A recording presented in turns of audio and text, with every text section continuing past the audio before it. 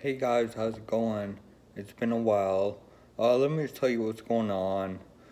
So, uh, I went last week, about a week and a half ago, uh, to Texas Workforce Commission because my doctor told me that, uh, if I go to them, they can help me get like a crane or a lift in my car, uh, to help me with the wheelchair because, as I mentioned before, my wheelchair weighs close to 50 pounds and it's kind of hard for me to lift up.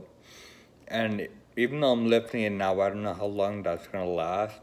And plus, if you look on the back of my car, uh, the wheelchair leaves scratches, so the back of my car is all scratched up, like on the body, not not in the trunk. The scratches in the trunk, but the body of the car actually does have scratches from lifting up and taking down the wheelchair. So I went to the Texas Workforce Commission. I made an appointment. Uh, they gave me paperwork to fill out before I went, and I had to fill it out on paper. So, and obviously, as an Ataxian, our handwriting is not the greatest. So it was about five pages, and I was trying to fill it out with hand. And each page I went through, my handwriting was getting worse and worse. Uh, so I w- actually the last page, the last couple of pages I want to say I did not even attempt to fill them out because I saw the previous page how bad it was. So I just left it blank and I just asked the lady when I went there. I said, "Let me just ask her if I can just go ahead and just tell the information." So I went. I met with a lady, really nice lady. Uh, I went there and she was going through my paperwork, noticed the handwriting issues and I saw the page was blank, and then uh, she felt she helped fill it out for me.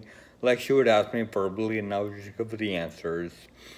Uh, so let her know all that, and so she kind of told me the process of what's going on. So basically, what's going on now? I met with her for about an hour, hour and a half. And I want to say I was pleasantly surprised at the fact that she knew a lot about ataxia. I don't know if she maybe had a lot of ataxia people come through or she did her research right before. But she was asking me things about like, hey, am I having trouble swallowing? Am I taking other pills? Am I noticing that because of the ataxia, my health and other regions has been affected? Uh, she asked me things like, um, you know, how is the ataxia affecting me uh, with the wheelchair. Do I uh, do I really need help with the wheelchair? What kind of equipment am I looking for? What do I want them to help do for me? Uh, things like that. So it was kind of refreshing that I was actually speaking to someone that was pretty educated on the subject that knew that knows the difficulties that we go through, how it affects our muscles. She asked me things like, um, am I weaker on my left side or my right side? Uh, my lower body, upper body, how do I get affected? Like if I go to the gym, if I work out, what do I do? What workouts do I do? Running things like that. So I mean, it was, it was, it was. I had no problem answering any of those questions. Uh, when it came to work, she asked me what kind of work I do. Uh, do I need the wheelchair there? And I said I do because I do walking in my work. So uh, where do I take the wheelchair? What do I do with the wheelchair? Like what purpose do I use it for mainly? And mainly my main thing was I use it at work and I use it at home. Other than that, I don't really go anywhere. I don't really do anything. I do travel once once in a while. but my traveling consists of driving. She asked me how far I live from work. Uh, I did let her know my drive is about 20 minutes away from work. Uh, and if I do live alone, if I live with, uh, if I have a caretaker, if somebody lives with me, if I have family that lives with me, I did mention that I do live alone, which I do. Uh, and so at that point, she took all this information down from me. She said that, okay, we'll be in contact. I have to request the documents from your doctors, I guess, basically to verify that I do have ataxia or what, what is wrong with me is really wrong with me. So she said that she will reach out to them. So I had to sign a couple of waiver forms that uh that give her permission to reach out to my doctor to get those uh, results of my blood work and things like that.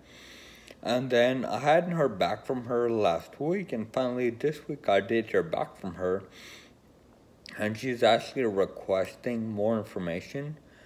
She's requesting a prescription from my doctor that says uh, basically that I guess that I can still drive, that I'm still able to drive because I do drive and uh, I do drive back and forth to work, as I mentioned. I do live by myself, so it's not like I can reach out to somebody.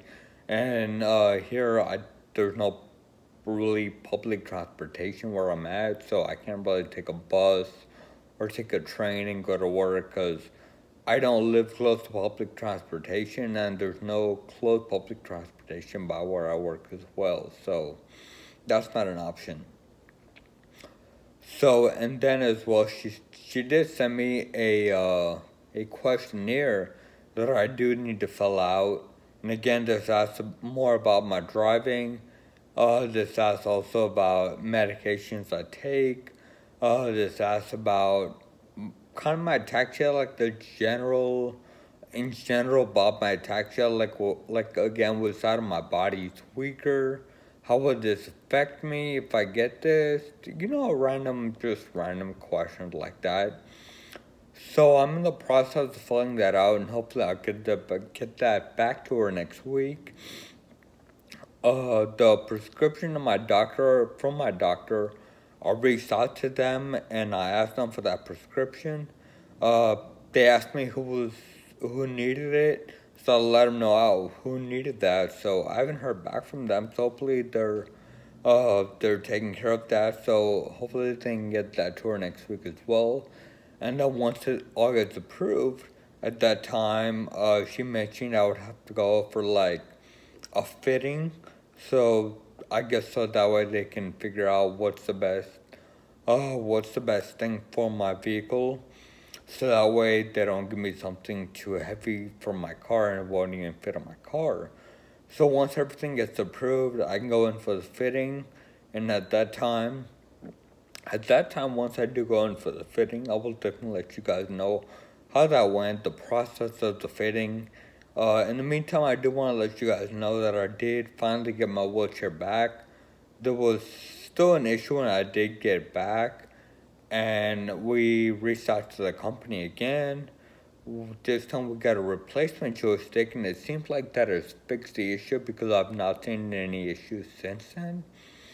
Uh, so every day I'm driving, I'm driving the uh, the wheelchair to work, or well, not to work. I mean, I drive my car to work, and then from there to my desk, I bring the wheelchair. So I drive it around work. Um, and as I mentioned, I I've taken it through a couple of tests, and I'll explain more in my next video when I actually, uh, when I actually take a video of the, uh, of the wheelchair, of why I liked it, and the features it has, and hopefully I'll get that out within the next couple of days. Uh, until then, please comment, subscribe, like, give me ideas for, for any future videos that you would like to see me do that you would like to see me talk about. Uh, until then, guys, have a great day, and I'll talk to you then. Thanks.